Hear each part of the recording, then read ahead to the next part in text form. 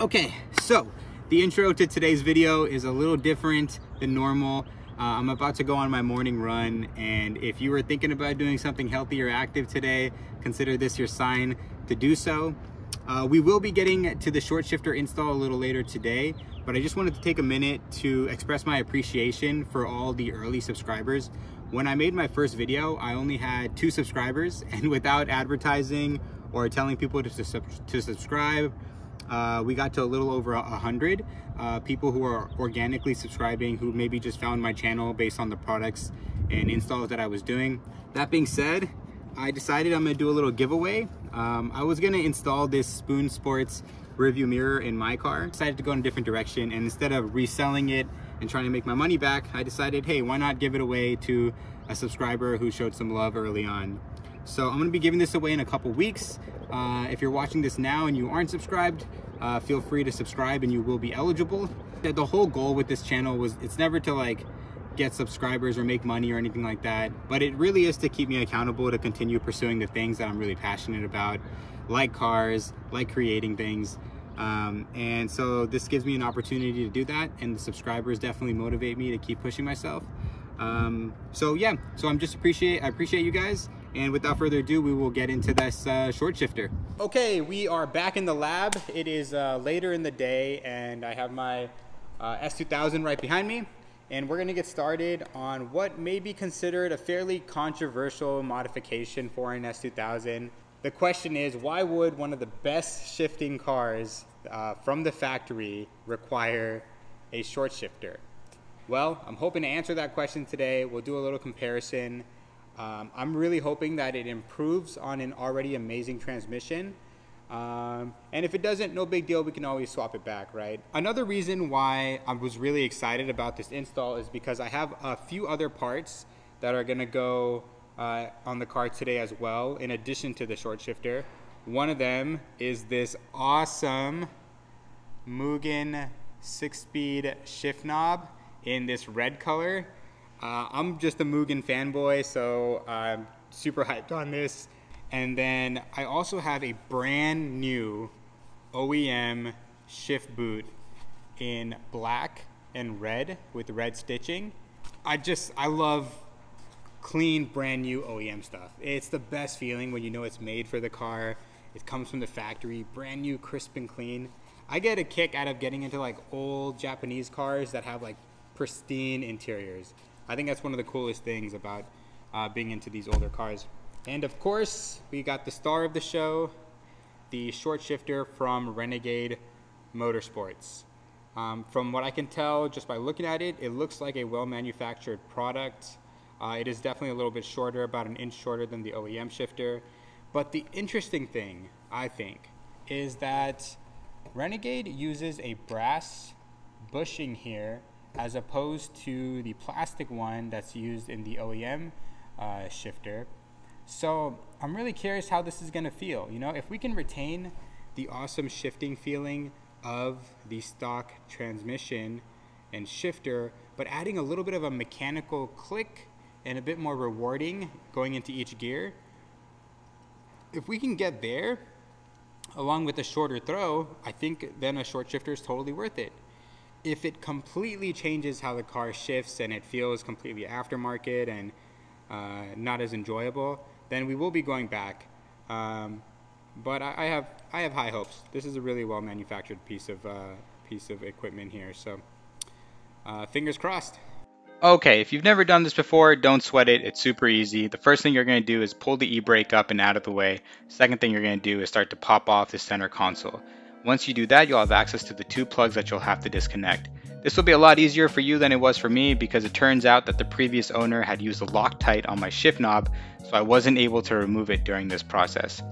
Once you unplug the two plugs, you'll have access to the rubber shift boot and also the plastic ring. Be very careful removing the plastic ring as you will be reusing this. And then once you remove that, you'll have access to the hardware that keeps the OEM shifter in place. Once you remove that, the OEM shifter will pop out and you can begin the process of installing the Renegade short shifter. Um, okay, so once you get the OEM one out, you essentially just assemble this up to Renegade's directions, which I'll be linking in the description below. and you grease the hell out of this with the grease that they provide. So you're gonna basically grease anything that could be a contact point, anything in between here, the uh, aluminum seat, and the ball joint, and then obviously the, the bushing down here. And then you're gonna pop it back in the car, uh, hand tighten it up, and then you're gonna torque it down to seven, I believe it was 7.2 foot-pounds. So I noticed that Renegade gives you just enough grease to grease the entire shifter. Uh, a little close for comfort for me. I like to have a little extra just in case. So if you're like me, you might want to keep a little extra grease uh, with you before you start this install so that you can make sure everything's lathered up real well. You don't really want to pop this thing off in a year or two to re-grease it again. So uh, just an idea. It did work out for me, but uh, I would have preferred to have a little extra grease than they provided in the kit. At this point, you maneuver the shifter into the place according to Renegade's directions, and then you start to torque everything down to spec. Took a little while to get me to get this in the right place, but it's really not that difficult. Just make sure that it's facing the right direction, that you're able to go into your reverse lockout. Uh, torque everything down, and then you begin the process of assembling everything back together.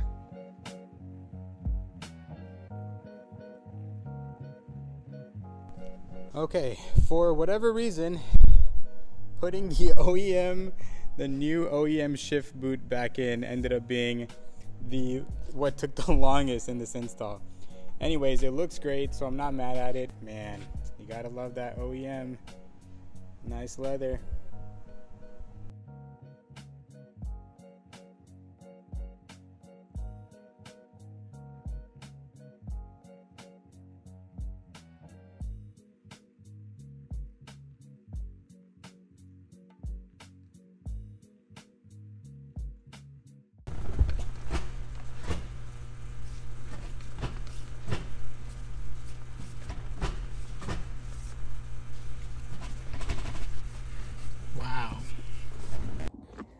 Okay, uh, it is now the next morning. I'm at my house. Uh, I just spent the entire morning driving my car around, uh, getting a real feel for the shifter so that I can give you guys my honest and unbiased opinion.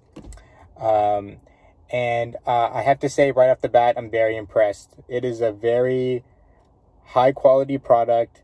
It has, for me, retained all the great things about the OEM shifter, transmission, the feel of it it's retained all that, but somehow has made it sportier. You know, it obviously has a shorter throw, which I love. I'll walk you guys through that right now. We got first, second, third, fourth, fifth, and sixth. And uh, reverse feels good too. But you can tell just by looking at the, the motion of the shifter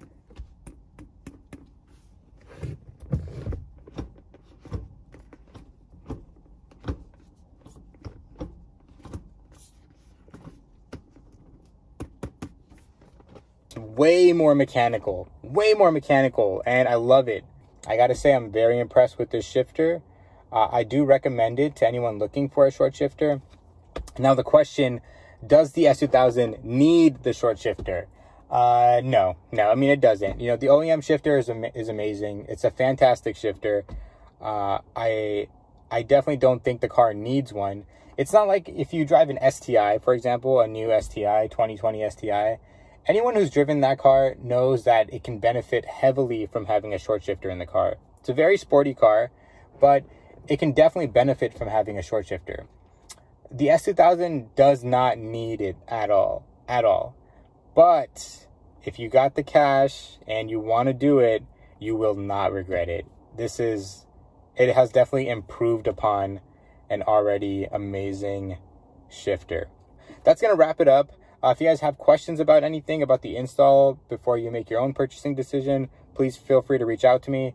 Also, uh, subscribe, please. Uh, you know, I love making this content. And if you subscribe, you have an opportunity to win the Spoon rearview mirror.